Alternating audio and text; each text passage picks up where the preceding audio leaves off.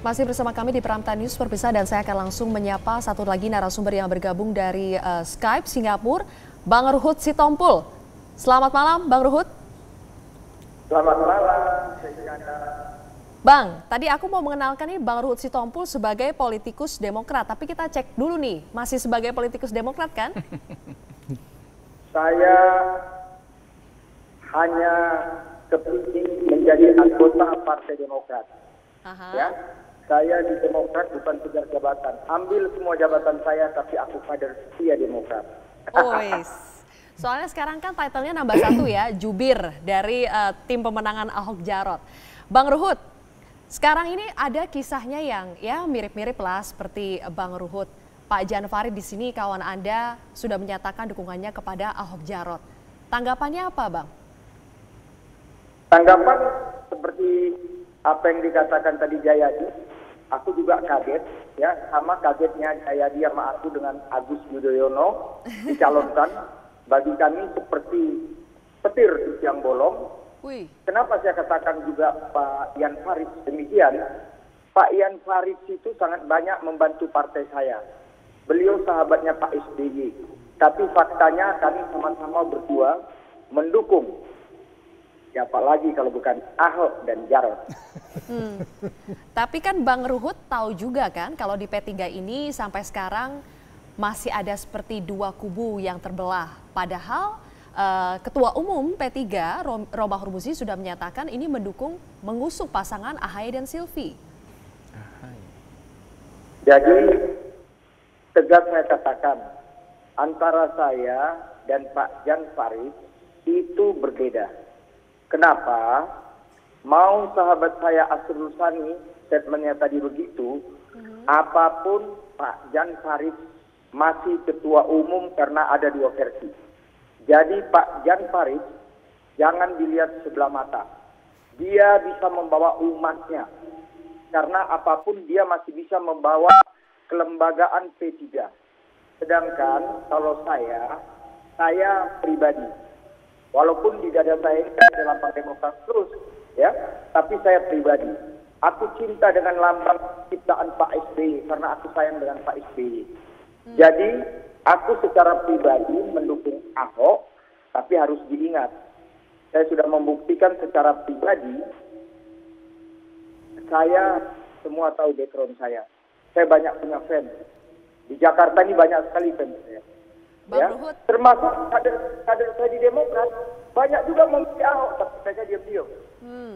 Bang Ruhut tadi bilang sayang dengan Pak SBY, tetapi kok tidak mau mengikuti keputusan Pak SBY mendukung AHY dan Silvi? Karena saya selama Pak SBY belum mengatakan itu kehendak hatinya yang paling dalam, itu ide dia, ya saya begini. Karena saya menganggap SBY itu kan orang yang paling titik koma. Orangnya sangat apa ya sangat tidak mau ada satupun kesalahan. Orang yang sangat rapi. Nggak salah. Terakhir mendaftarkan Agus. Nggak salah. Malam baru memutuskan Agus. Agus itu kan adik saya. Saya pernah menitipkan Agus kepada Pak Joko Widodo presiden ketujuh supaya dia kita perhatikan di era Pak Joko Widodo biar dia karena perwira berprestasi perwira menengah bisa mendapat bintang Bahkan saya doakan okay. kita bintang empat. Kaget dong saya seperti Jaya ya hmm. menjadi pangkat mayor kok mundur. Ini ada apa? Bagi saya ini bukan keinginan Pak SB dan Bu Ani Yudhoyono. Saya okay. juga sangat menghormati Bu Ani Yudhoyono. Baik. Karena Bang Ruhut ini uh, tidak bisa lama-lama bergabung karena masih ada acara lain. Satu pertanyaan terakhir Bang Ruhut, uh, informasinya Rabu minggu depan jam 1 siang Komisi Pengawas Demokrat ini akan memanggil Bang Ruhut untuk menentukan nasib Bang Ruhut di Demokrat. Betul begitu? Jadi ini sangat betul. Tapi lihat dong berita selama ini termasuk running test Metro TV. Ruhut, eh Kompas ya Kompas TV. Ruhut nasibnya ini seminggu yang lalu nih, udah tinggal dua hari lagi. Tahunya baru Rebo, sekarang baru Sabtu. Itulah, selama tidak Ruhut lagi menjadi koordinator juru bicara, sekarang kan koordinatornya diambil oleh Pak SBY. Hmm. Itu juga membuktikan Pak SBY sangat sayang sama saya. Pembisik, penjilat yang kepingin jadi koordinator, Bapak nggak kasih juga. Bapak yang pegang, kan itu faktanya. Memang membandingkan dulu nggak ada di Partai Demokrat. Ah, jadi semua jadi juru bicara.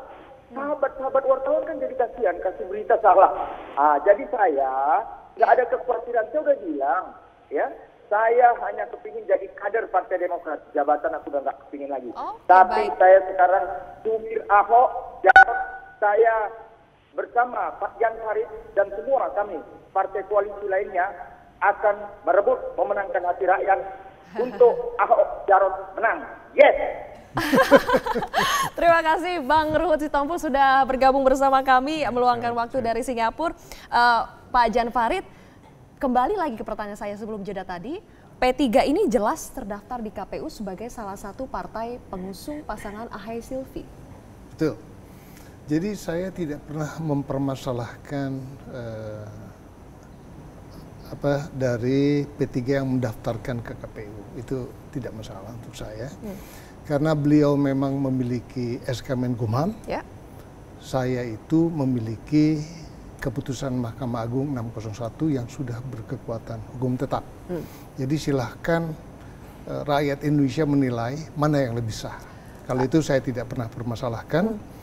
Jadi biarkanlah beliau mendukung melalui KPUD.